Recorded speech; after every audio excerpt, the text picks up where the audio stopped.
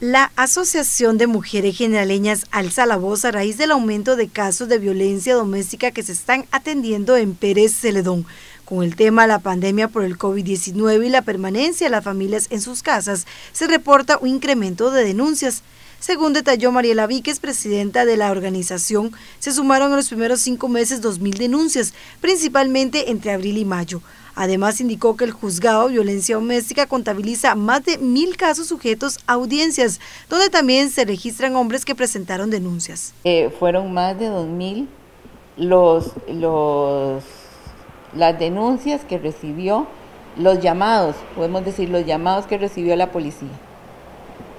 Eh, eso es muy alarmante. O sea, la policía de, incidentes que debieron haber atendido en, el sitio. Y además, eh, el juzgado de violencia doméstica nos proporcionó eh, datos también de que han sido más de mil los, los casos debidamente tramitados con denuncia y sujetos a audiencia en el juzgado. Ellas están tratando de sacar al menos tres audiencias diarias para avanzar con, estos casos que ya tienen denuncia y medida cautelar. O sea, es, el tema es de preocupación y debe ser de preocupación para toda la comunidad, porque ya no solo, en los datos que entrega el juzgado, ya no solo eh, considera la denuncia de las mujeres, sino también la denuncia de los hombres.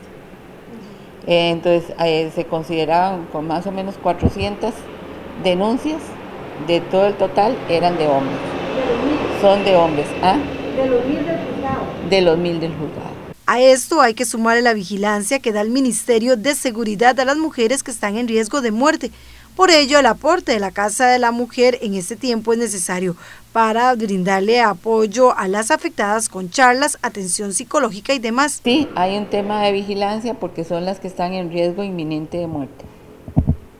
Entonces, esas les, da seguimiento la policía, el Ministerio de Seguridad, y son las, las personas que también eh, eventualmente necesitan el apoyo emocional o generalmente necesitan ese apoyo emocional, que en este momento la única posibilidad que hay real es la casa de la mujer.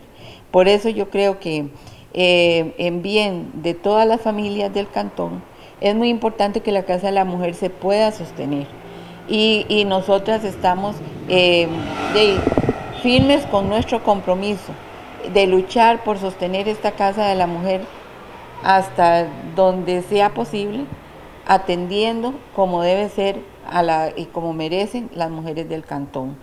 Y eso, pero eso implica también de que necesitamos recursos. Sin embargo, esta agrupación se ha visto afectada económicamente y por ello acuden a la población para que les aporten. Y que la, la Casa de la Mujer eh, es sujeta de recibir donaciones donaciones afectables a gasto eh, para efectos de tributación directa y que aquí recibimos de todo lo que en buena voluntad las personas puedan traer para eh, sostener este servicio fundamental en el cantón.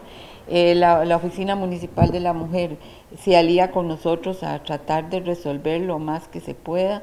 Hay muy buen eh, muy buen ambiente de apoyo, la red interinstitucional de lucha contra la violencia avanzó mucho en el, en el trabajo, aún en, sin, en, primera instancia sin un eh, lineamiento claro por parte del INAMO, que hasta ahora está tratando de, llegar a, alineamiento, pero en Pérez Celedón no hay INAMO presente.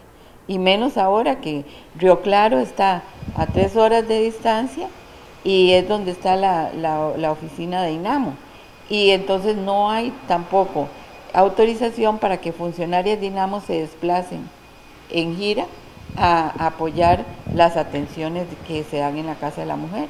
También acuden al trabajo de los voluntarios. Son muchas mujeres y aquí vamos, tenemos siete voluntarias, siete psicólogas en este momento dando su trabajo de manera gratuita o de manera virtual y nosotros todos los días llamando a ver dónde encontramos más voluntarias.